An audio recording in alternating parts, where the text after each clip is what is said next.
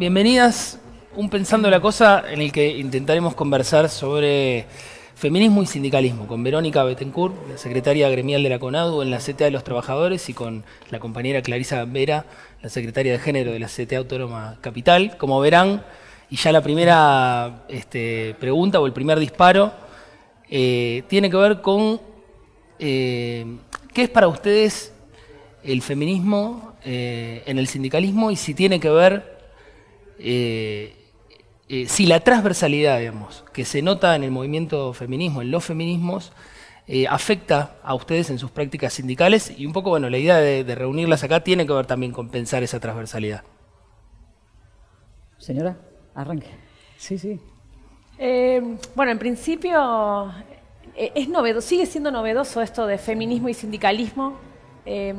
durante mucho tiempo muchas de nosotras en términos generacionales nos formamos feministas fuera del sindicato, mientras nos íbamos convirtiendo en sindicalistas porque, mm. eh, no sé, era delegada de base, organizaba, empezaba a representar a mis compañeras y compañeros en los sectores de laburo, empezaba incluso a ocupar lugares de responsabilidad, así todo el feminismo iba por otros canales, otros espacios de formación. Em, creo que en este último tiempo todo ese, bagaje de, de, esta formación ingresa al mundo sindical. Creo que ahí la economía feminista tiene un, tiene bastante que ver porque nos trae, eh, nos, permite eh, meter al gremio debates que son propios del gremio en términos de, economía, de salario, de, entonces empezamos a encontrar casi como una estrategia, ¿no? Eh, mencionar esto, pensar en salario y traer algo que es histórico, que no tiene que ver con nuestra generación, que es el trabajo reproductivo como realidad cotidiana de las mujeres, que viene de los 60, o sea, pero que no entraba, quedaba como recontra marginal. La economía feminista nos permite poner en cuestionamiento nuestra vida cotidiana. Em, y después me parece que los paros de mujeres ¿no? generan una nueva esquina de encuentro en relación a, bueno, la centralidad que ocupa el trabajo y la posibilidad de pensar violencia en términos mucho más transversales y, usar una herramienta que es del sindicalismo, del movimiento obrero, y usarla de manera provocadora. O sea, definir las mujeres en nuestros ámbitos que vamos a usar esta herramienta de la mm. clase y eso trajo una bomba adentro y afuera, me parece. Sí, fue yo coincido en eso, ¿no? Hubo como hubo que tirar ciertas piolas para que entrara el, el feminismo a los sindicatos, a las mujeres que estábamos en los sindicatos, ¿no? a las mujeres y disidencias que estábamos en los sindicatos. No era una era una discusión incluso una que, veíamos, por lo menos lo digo yo, no, la voy a involucrar a Clarisa, pero como que durante mucho tiempo la idea de los, derechos de los trabajadores era un concepto suficiente, como que ahí estábamos todas y todos. Incluso esta discusión que ahora damos a partir del lenguaje no estaba presente en nuestra práctica sindical. La verdad es que ahí hubo todo un, incluso los encuentros de mujeres, yo tengo, qué sé yo, tengo muchos años y, muchos en la CTA, nosotras discutíamos un montón si había que participar y de qué manera. No era, no fue si esa era la discusión donde teníamos que, estar. Y no es que no peleábamos en nuestros sindicatos por, por ocupar lugares y, que no nos dábamos cuenta que no todas y, todos éramos iguales a la hora de repartir cargos o de dar ciertas discusiones. Todo eso pasaba, pero fue un proceso que incorporarlo a nuestra propia práctica y el concepto de la economía feminista por un lado y yo creo que el ni una menos, los paros de mujeres, también hicieron que, muchas de nosotras, que hace mucho que estamos en nuestras organizaciones, eh, empezáramos a mirarnos desde esa misma perspectiva, ¿no? a, que nuestra militancia estaba atravesada por, esa, por ese mismo discurso, que no era que estaba allá, sino que nos atravesaba. Me parece que ahí también hubo un, quiebre, ¿no? que como que nos apropiamos de eso, de alguna, de alguna manera. Además de que conceptualmente nos servía para poder decir, bueno, eh, eh, que, cobremos lo mismo por igual trabajo, ¿no? que pudiéramos pero visibilizarlo adentro de nuestras propias organizaciones eh, ha sido toda una pelea para nosotras y nosotros. Incluso nuestra central, que fue la primera que tuvo la Secretaría, de Género y Oportunidades.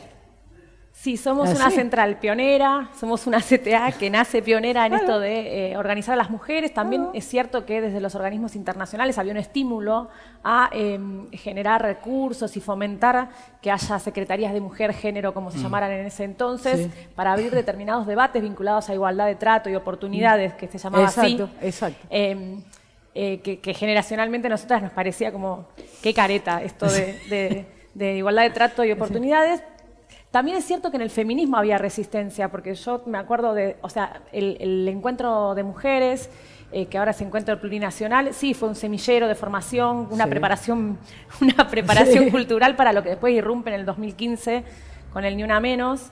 Em, pero los feminismos no querían saber nada de las sindicalistas. Tampoco ahí yo podía decir abiertamente y de manera es muy fresca que era sindicalista, porque el sindicalismo es el lugar de los varones, es un lugar estratificado, es un lugar. Sí, sí, de, vertical, de verticalismo, de estructura. esto, esos mundos como devaluaban o descalificaban el otro, se, se autoexcluía. Eh, por eso me parece que este es un momento muy rico en términos de ebullición y que colisiona, porque colisionan lógicas distintas, mm. pero no se podía en el feminismo ser sindicalista y no, se podía en el sindicato ser feminista. Esto Sí, era como feminista de, la puerta para afuera. Incluso yo recuerdo las discusiones que nos dábamos nosotros cuando aparecieron la ley de cupo, cuando apareció la ley de cupo. Sí. No, no todas estábamos, ahí lo digo eh, en primera persona, yo no estaba de acuerdo, me, costó un montón. Sí. Pero un montón no quiere decir que dos charlas, un montón de años. Me costó darme cuenta que efectivamente, me digo, yo vengo, trabajo en, en la universidad, y a nosotros nos costó un montón, haciendo sindicalismo en la universidad, una tarea feminizada, digo, como toda la docencia, darnos cuenta de los techos de cristal y los pisos pegajosos. Entonces, y una vez incorporar eso e incorporarlo a la práctica de cómo se piensan los derechos de las trabajadoras y los trabajadores fue un montón. Yo recuerdo esa cosa de eh, a ver si lo apoyamos o no lo apoyamos, ¿no? De cómo. Y después esto, una vez que ingresan, que se crean los espacios de, primero de compañeras y posteriormente de mujeres y disidencias. Ahí también hay toda otra torsión, eh, porque ahí es el sindicalismo y las disidencias, un capítulo, yo, varios libros se podrían escribir. Al, no, pero claro, tenemos que poder este, decirlo para poder pensar esta cosa que siempre se dice del sindicalismo, que es un, espacio tan estructurado. Yo creo que al, contrario. Si, si, hay algo que ha mostrado el sindicalismo, mm. por lo menos en nuestro país, mm. es la capacidad de, transformación que tiene.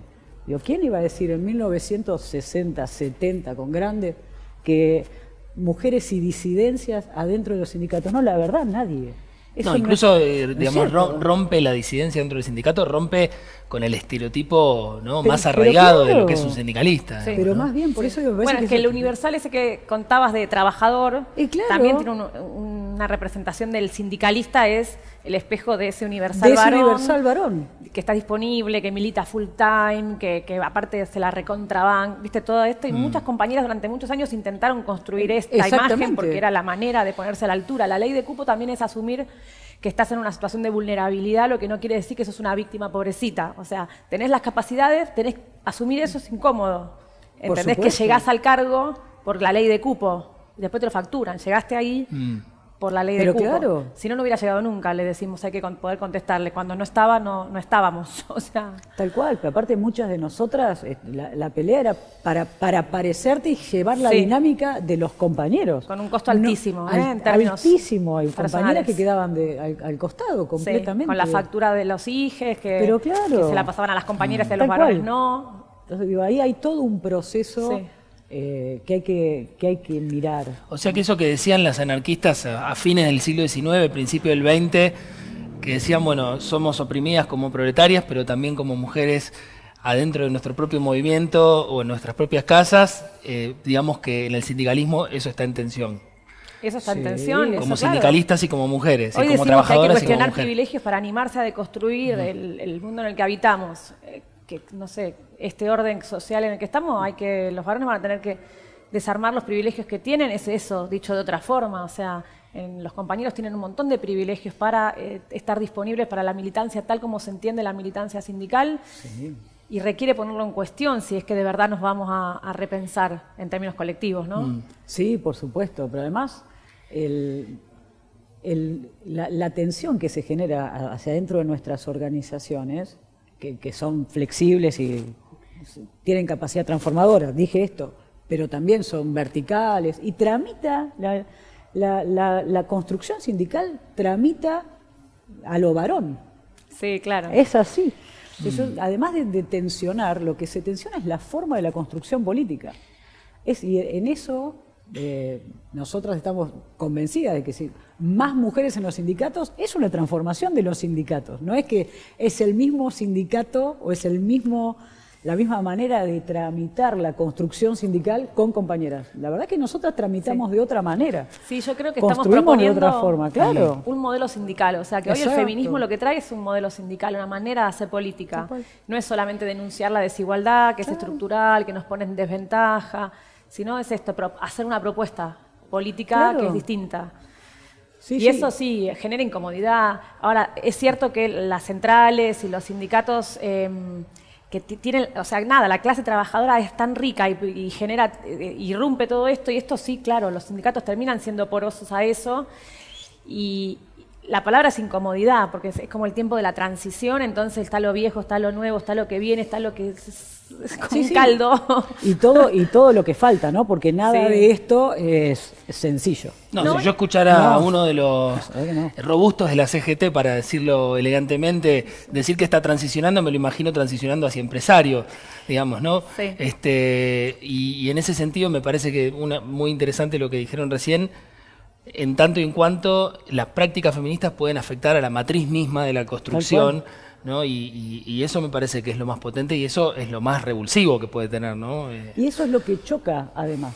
¿no? Porque en este, digo, el espacio sindical, las estructuras sindicales son, son, estructuras, tienen lugares, tienen lugares de discusión, tienen lugares de poder. Por eso recuerdo cuando se creó la Secretaría de Género, siempre tenía que haber una mujer ahí. Claro, después secretario gremial. no ranqueabas. Aparte era para los temas de las chicas, ¿no? Claro, los temas de mujeres se tratan las mujeres, pues yo, yo lo discutí, decía que los temas mm. de, la juventud lo tratan los nenes y así en esa reproducción de, cosas que no, que no daba. Eh, ahora, no es una discusión eh, sencilla y no es que no hay ninguna resistencia, hay un montón de resistencias, incluso este, con buena intención, ¿no? Esta cosa de perder privilegios, de por qué se ocupan ciertos lugares y cómo... Mm por, qué se por qué se elige a determinados compañeros y, no compañeras, ¿no? Ahí hay toda una cosa que es compleja eh, en esto de incluso, eh, bueno, si las compañeras saben conducir o no saben conducir. Si, ¿no? si podemos llevar adelante. carneles, si podemos llevar adelante ciertos procesos o no, por esto que estábamos diciendo, las distintas maneras de tramitar y de entender lo gremial. No es cierto que hoy yo pues soy secretaria gremial, pero la, ¿cómo se construye el conflicto? ¿Cómo uno, cómo una va mirando y, construyendo lo que va a ser un conflicto y las vías de resolución? No miramos igual, la verdad es que no. no se ve igual en la historia, mm. Eh, tomando perspectiva, pero tampoco las compañeras y los compañeros cuando ocupamos los, lugares los ocupamos de distinta manera y resolvemos de distinta manera. Y ahí parece que tenemos que sacar carnet, ¿no? Así como hay que bueno, esto es una discusión. Sí, y, pienso que bueno, las secretarías fueron una experiencia que consolidó como una agenda, eh, formó compañeras, pero también fue un techo, una casita claro. Eh, compleja. Eh, el cupo permitió el acceso de compañeras, pero también fue el techo.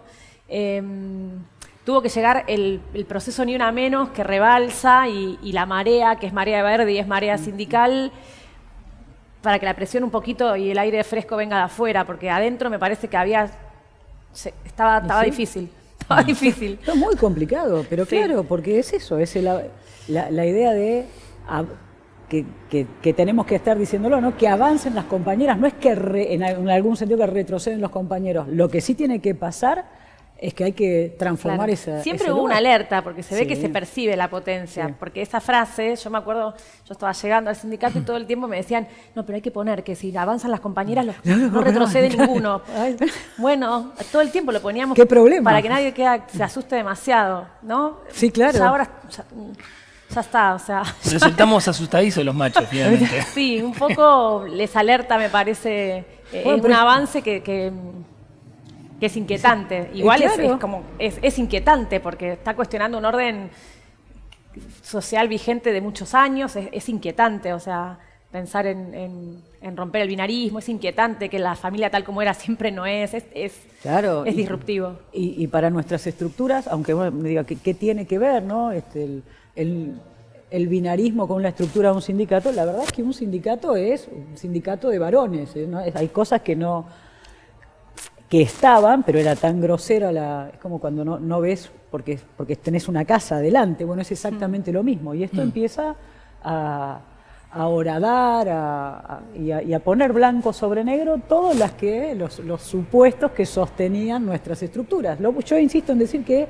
lo bueno de nuestras estructuras es que estamos adentro de ellas y podemos ayudar a que cambien, pero este, que, que avancen. ¿no? Que sean Y- más porosas, más que sean más plásticas. porosas, pero que además que, que redefinan objetivos, porque cuando vos incorporás eh, nuevos sujetos a la disputa, transformás la disputa y la enriqueces, la potenciás y, vas para adelante en, un- en una cantidad de otros sentidos.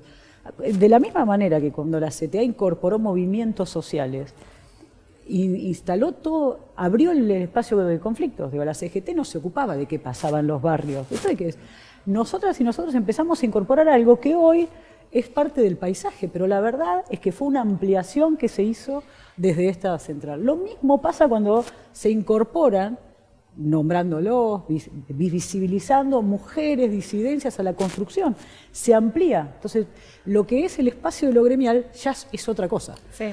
Hay, hay otros problemas. ¿no? Transformar la realidad. Y a la inversa, les pregunto para, digo, para, para no irnos de la incomodidad. A la inversa, es decir, cuando hay una secretaría eh, de género, digamos, eh, a, a nivel nacional, a nivel, es decir, conquistas que son importantes y que, pero que al mismo tiempo en el interior de- del movimiento feminista, o por lo menos por lo que converso con las compañeras y, y- y por, digamos, que forma parte de una preocupación política, también se dice, bueno, pero ojo que Así como podría uno decir, bueno, el feminismo es como una especie de entrismo dentro del sindicalismo de las estructuras, también a la inversa se da. Claro. También se rigidiza, también este, existen esos riesgos, digamos. Mira, eh, la institucionalización de todos los movimientos abre el mismo debate, o sea, pasó con otros movimientos y no estamos ajenos a eso. Hay una potencia de la calle más plebeya, que si el feminismo pierde, para mí, está, está entregando parte de su, de su vitalidad y potencia así de pulsión vital. Eh, ahora, también eso, eso permite conquistas concretas, abrió, puso nuevos pisos, me parece, esa institucionalidad. Por supuesto que, que hay como entrismo, ni siquiera hay que hablar de las instituciones vinculadas a los ámbitos de gobierno en general, sino incluso las derechas están mirando y construyendo estéticas, convocatorias y cosas que tienen que ver con eh, darse cuenta que acá hay algo que es un proceso de masas, que interpela a las juventudes, que todo el mundo está queriendo ver qué hace con el tema, porque es el 20% del padrón, y, y que hay ahí algo de, de- de esto que yo pensaba, no sé, la reta hace una propuesta de feminismos populares para los barrios más pobres de la ciudad de Buenos Aires, que vos ves y si estás distraída, te, te parece la estética de cualquier orga feminista compañera. Y están buscando ahí, están buscando esa potencia de las compañeras del territorio que saben organizarse, que son todas mujeres, que están pensando en cuestionar tal como venían trabajando sin que se las reconozca, las están convocando desde, desde ese lugar que nosotras abrimos o inauguramos. Eh, o sea que claramente hay eh, un entrismo en ese sentido. Eh, yo no sé si lo viste, la, la popular, que se llama el partido. Sí, sí, sí. tiene toda una estética que podría ser una organización de compañeras y están buscando por ahí. Y las iglesias también están buscando por ahí, porque el feminismo trae una identidad que conmueve profundamente, trae una estética, trae una forma del hacer, y están buscando por ahí quienes van a hacer la reacción conservadora para frenar esa potencia. Es que, claro, porque ahí hay, es, el feminismo, las disidencias, todos buscan y no buscan ahí porque hay algo que no se aparece, se transforma la realidad, ¿no? Hay como otra y ahí hay que hay que ir a el mercado mismo, ¿no? Absolutamente. los hoteles friendly llegaron en la Argentina antes que la ley de matrimonio igualitario. el mercado es muy rápido en eso. Todo, esto es así. La, cuestión es cómo es que nosotras y nosotros nos apropiamos de eso, cómo entramos ahí, qué, qué cosa eh, y te pone a prueba en tus prácticas, ¿no? Me parece. Porque digo, una cosa es una identidad que se puede vender muy bien. También hoy es muy fácil ser, ser progre, todos podemos hacer un flyer muy lindo, ¿no? Pero, pero las prácticas, digo, que se definen en el día a día, este, es otra cosa, ¿no? No, por supuesto. eso por un lado. Y después también es cierto que nosotras mismas tenemos nuestras discusiones, no es que no las hay. Y eso también, a mí me parece que es interesante. Mm. Eso, vos decías ese proceso, bueno no corremos el riesgo de esclerosarnos. Yo, me parece que falta un rato eh, esto que nosotras llamamos o que mentamos como el feminismo popular. Ahí hay mucho para mirar, hay un feminismo como más teórico, ahí hay cruces, hay, hay mm.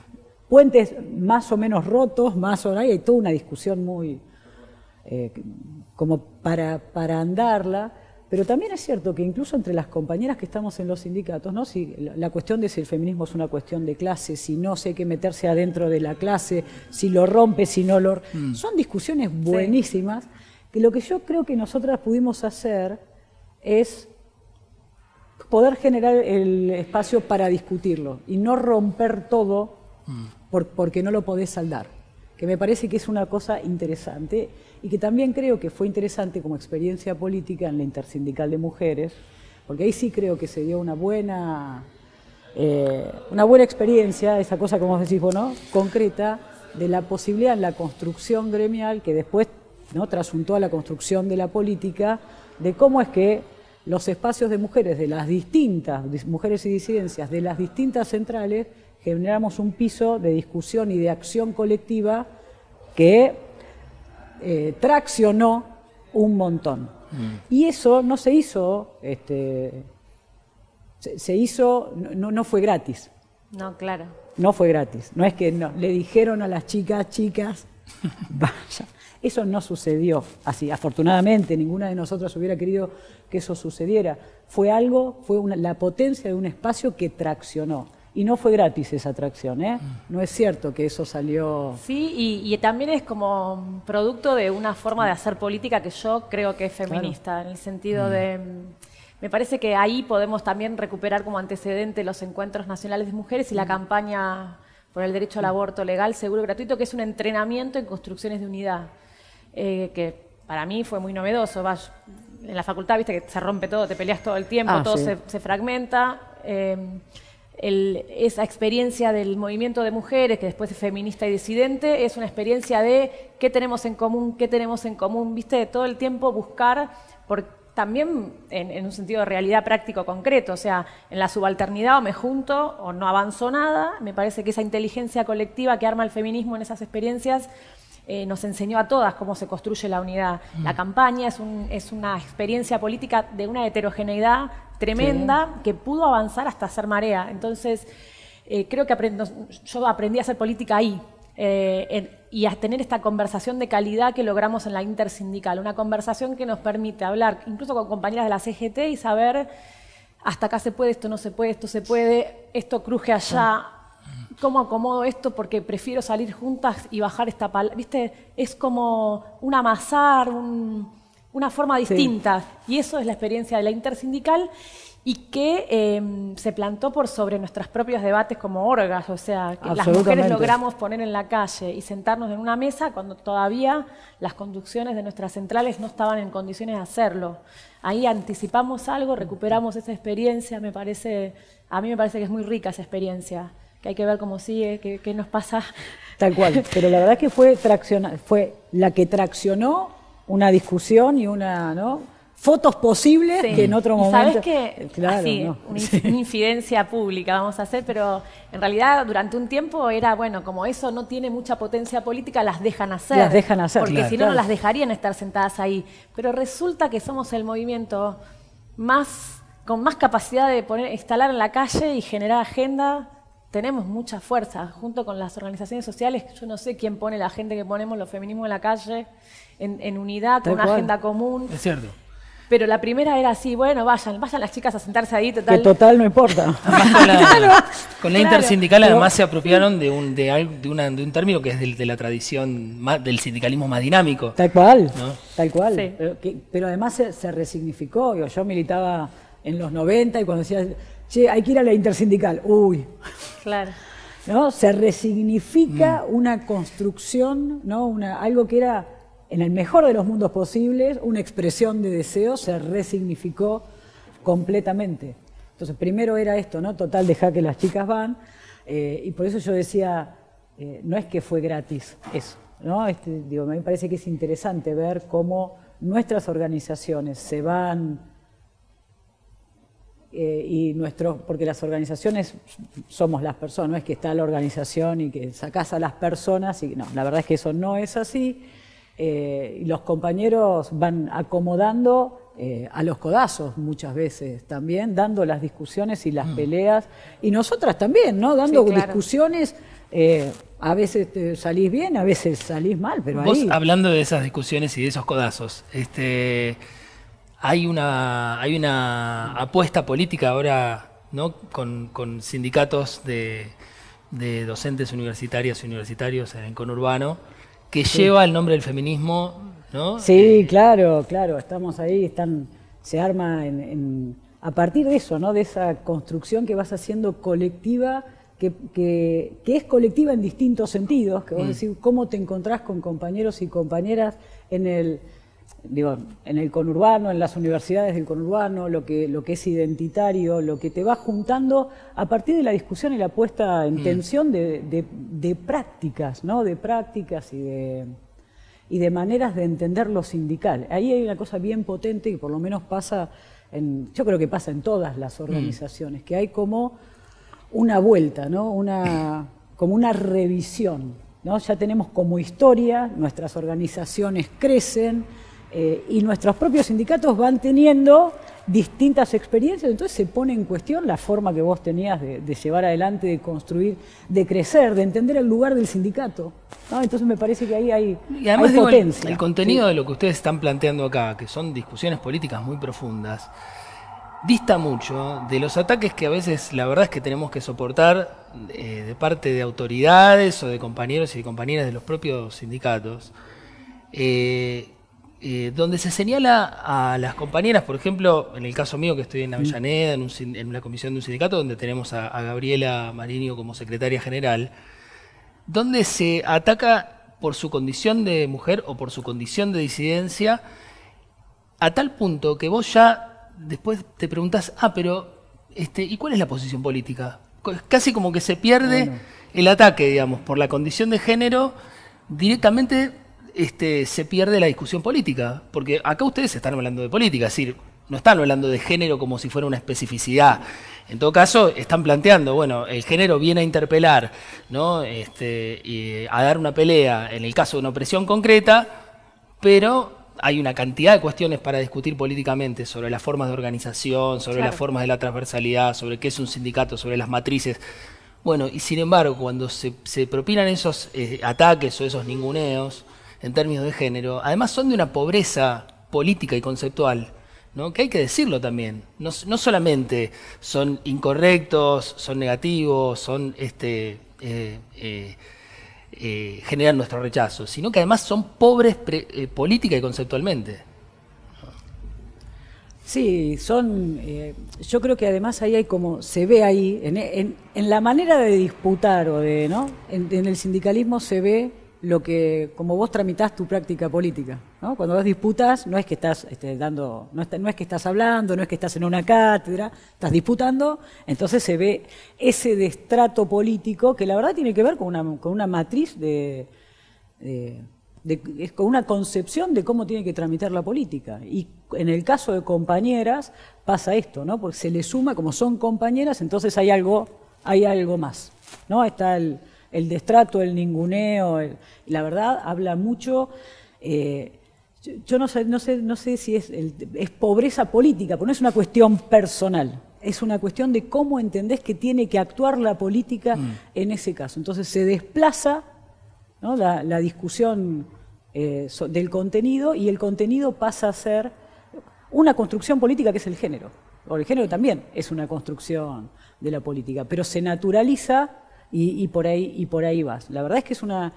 eh, desandar eso es complejo y yo creo que nuestras organizaciones tenemos la, la obligación moral de empezar y, y- y gremial de empezar a desandar eso y a mostrar que eso no tiene que ser así y que no necesariamente es así. Porque si no parece que la manera de, tra- de tramitar la política es esa.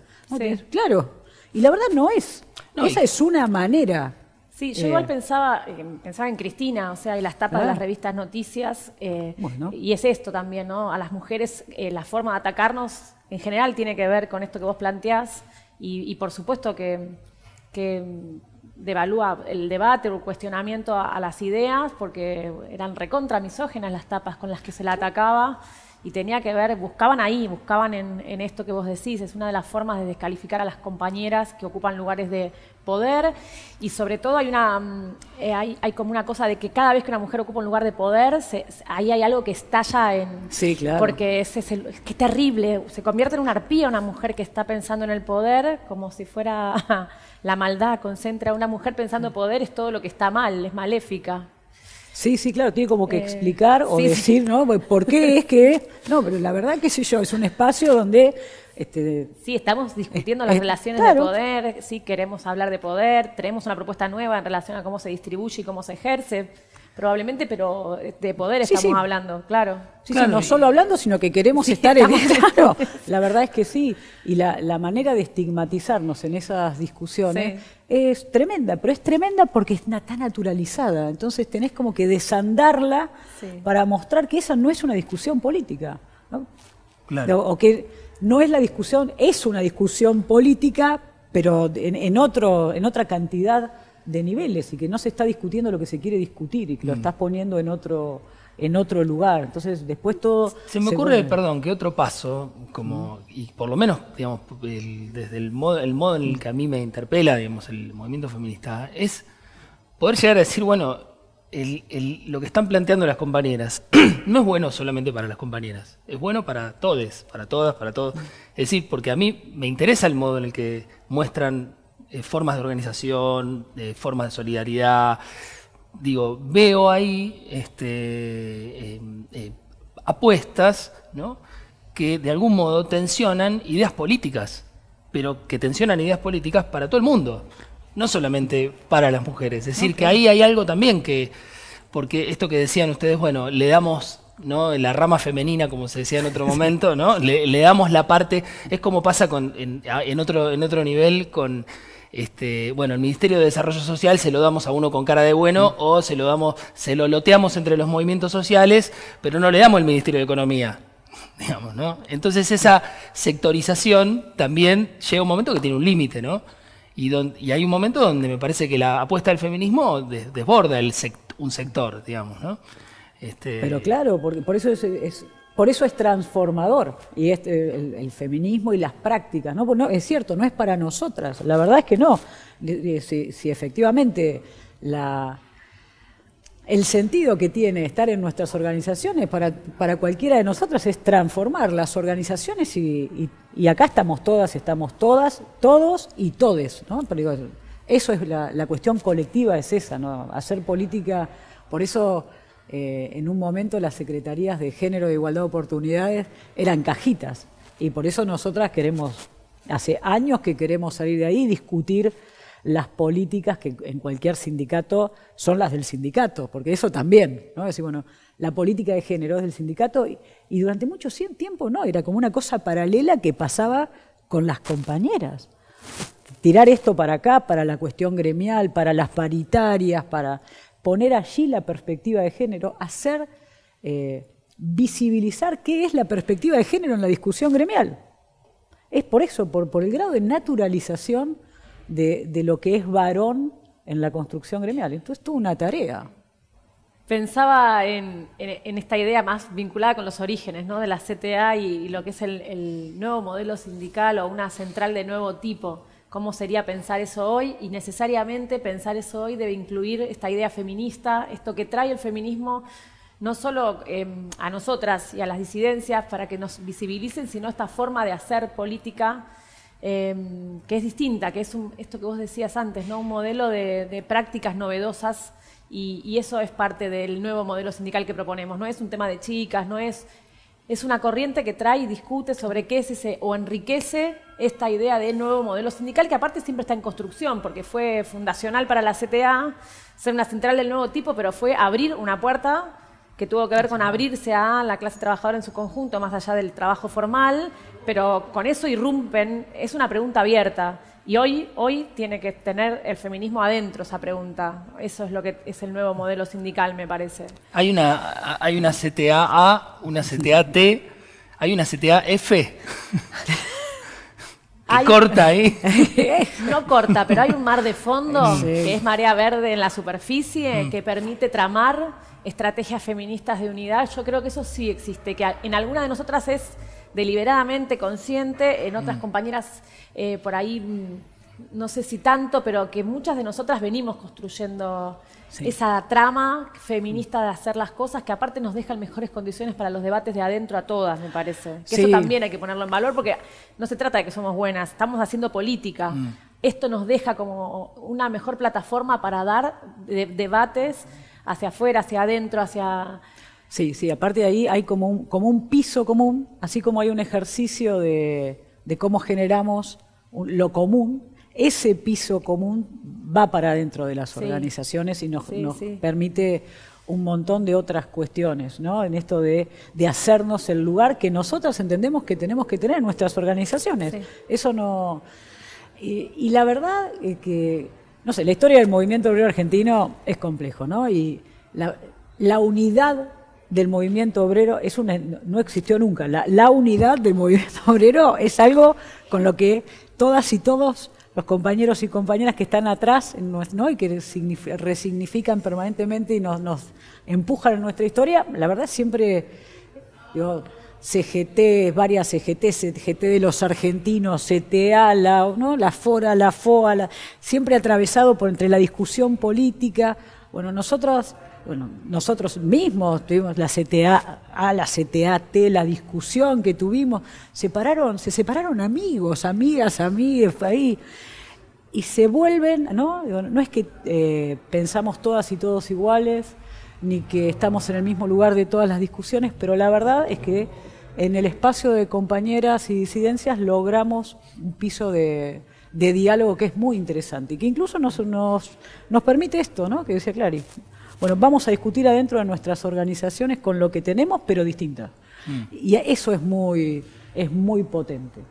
Eh, si, nuestras centrales van a confluir, si este, con la, qué va a pasar con la CGT, la verdad que hay un montón de variables distintas, pero eh, esta trama de la que estamos hablando, que es tan costosa, que no es que es idílica. No es cierto, ¿no? No, no, porque eso no... Porque hay también como una fantasía que para mí es como una especie de minoría de edad que nos mm. instalan esto de la sororidad, como una cosa, no, no, es que esto fluye, somos Heidi, todo es re lindo. No. eso no es así. La verdad es que no, que no es así.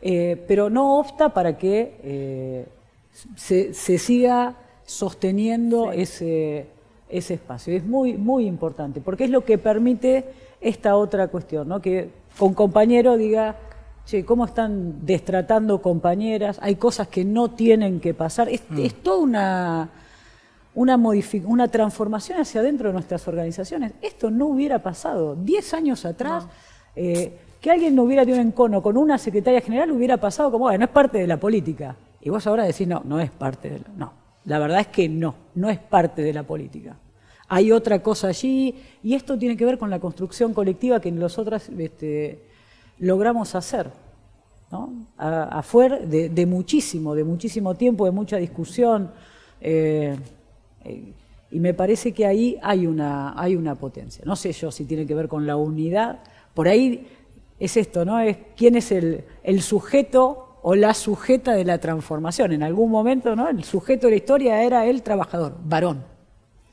Después era el trabajador varón de trabajo formal.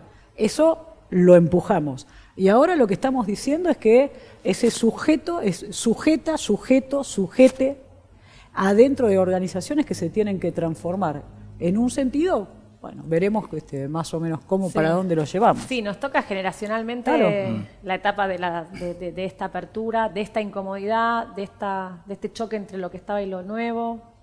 Eh, pero realmente me parece que es de, mucha calidad la, la, conversación y la construcción con límites. O sea, no, me parece que no hay condiciones de unidad en términos, pero ni siquiera es que eh, son tan necesarias. Cada vez que podemos confluir desde las identidades de cada órgano, eh, de cada central, en una acción común, eso tiene mucha fuerza justamente porque estamos confluyendo desde lugares distintos, trayendo un punto en común a la calle, por ejemplo. Eh, cada vez que hacemos eso y nos sale, avanzamos. Porque eso también es importante, ¿no? La potencia de la diversidad. Sí. Porque si no hay como una cosa mística que lo homogéneo es mejor. Y la verdad es que nosotras y nosotros somos un ejemplo de que la diversidad es potencia. Por eso, me parece que cuestionar el modelo también es, o sea, no hay alguien que sintetice, no hay uno que conduzca, eh, no hay una cuestión de, uniformidad, es otro tiempo, me parece. Sí, tal cual, tal cual. Digo, nosotros tenemos la experiencia, yo, yo soy de CONADU, eh, la compañera Claudia Begorri de CONADU Histórica, ¿no? Eh, la le mandamos un saludo a la compañera. Que le mandamos un, un calurosísimo saludo. Eh, ¿Pensamos igual? ¿Construimos? No, la verdad es que no. Pero podemos confluir. Y ahí hay muchísima potencia. Sí, hay cosas para explorar. Y me parece que eso también es algo para, poder mirar de este momento. ¿no? Hay toda una discusión también, por supuesto, el modelo, en el nuevo modelo sindical uno podría decir, bueno, la unidad, la, representación única de, ¿no? de los sindicatos respecto de la patronal, ahí hay toda una discusión que no es menor, vamos a decir la verdad. No es menor cuando nosotras y nosotros pensamos desde los sindicatos y en la representación y la ampliación de derechos.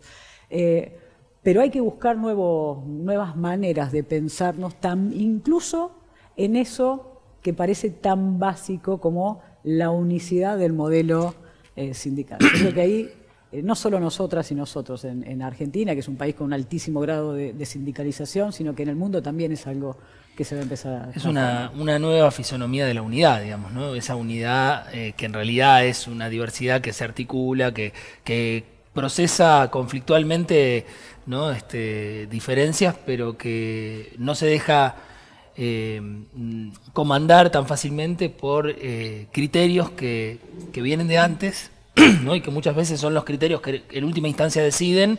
Bueno, eso está en tensión. Eso está en tensión y desborda todo el tiempo. Cada vez que se intenta, o sea, no cierra.